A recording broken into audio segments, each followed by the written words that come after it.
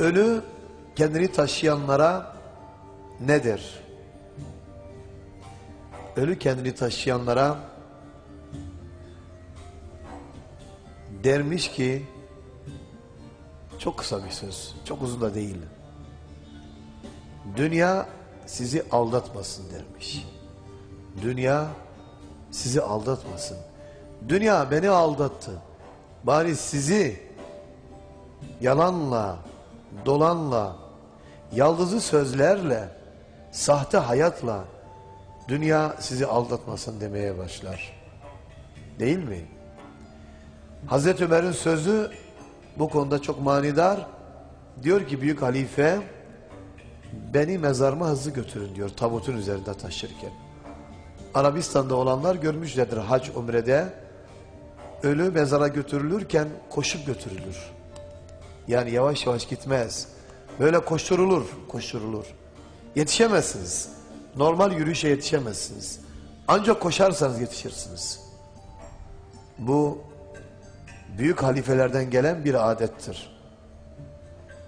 Çünkü diyorlar ki ölü iki şey söylermiş. Eğer ölü inkarcı ise yani Allah bilmez, peygamber bilmez, kitap bilmezse olacak şeyleri görmeye başladığından dolayı bağırırmış ölü. Nereye? Beni nereye götürüyorsunuz?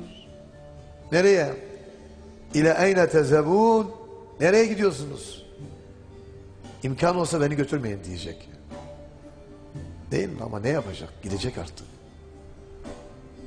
Mümin ise kendi halini görmeye başlayan ise dermiş ki beni bir an önce götürün. Dünyanızdan beni bir an önce koparın, beni mezarıma bırakın ki Allah oradan bana cennete gidecek olan bir yol açsın. Pencere açacak.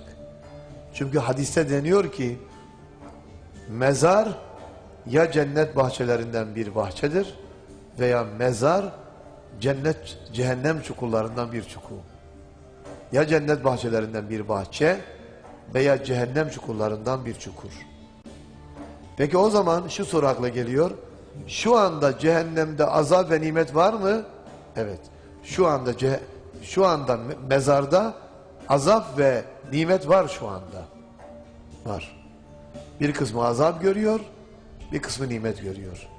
Firavun'la ilgili ayette sabah ve akşam Firavun ailesine ateş arz edilir diyor.